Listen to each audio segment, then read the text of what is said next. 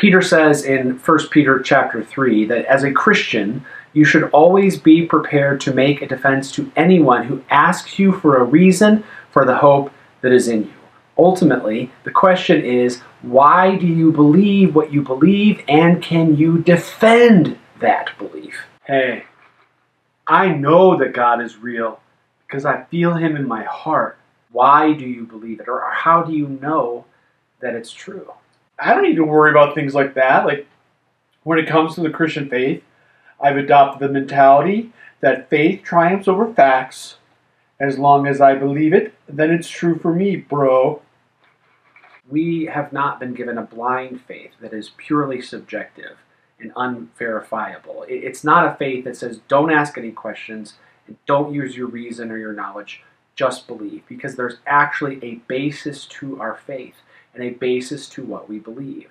So Christians, especially during the Reformation, saw faith as consisting of three things. One is knowledge, second is assent, and third is trust. I have no idea if the graphics are going to match where I'm pointing. But knowledge for a Christian comes from God and what he chooses to reveal to us.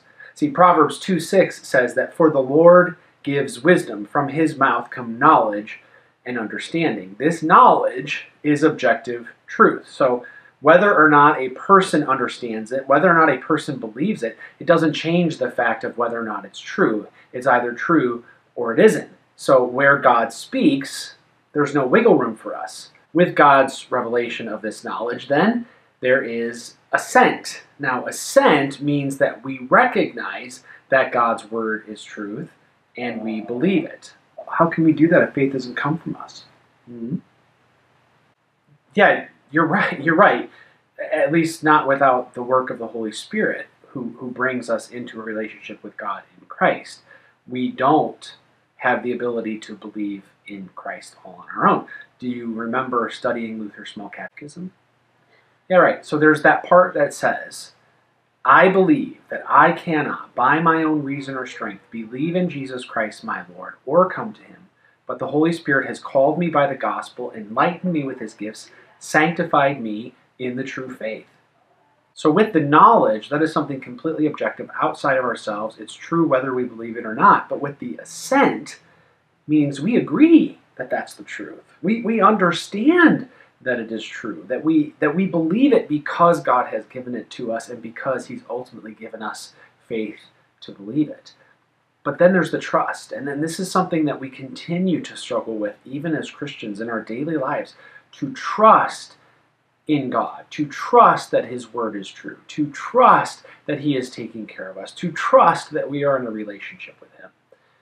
And if it weren't for the ongoing nurturing of the Holy Spirit in our lives through Word and Sacrament, through the you know the, the gifts that He's given to us through baptism or through you know the, the continual communing with Christ through the Lord's Supper or the gathering together in worship with all of God's people, I mean, that, that trust would, would wear pretty thin pretty quickly. Right on, bro. Now, in the final words of his second epistle, Peter, Peter cautions and encourages you take care that you are not carried away with the error of lawless people and lose your own stability, but grow in the grace and knowledge of our Lord Jesus Christ. To him be the glory both now and to the day of eternity.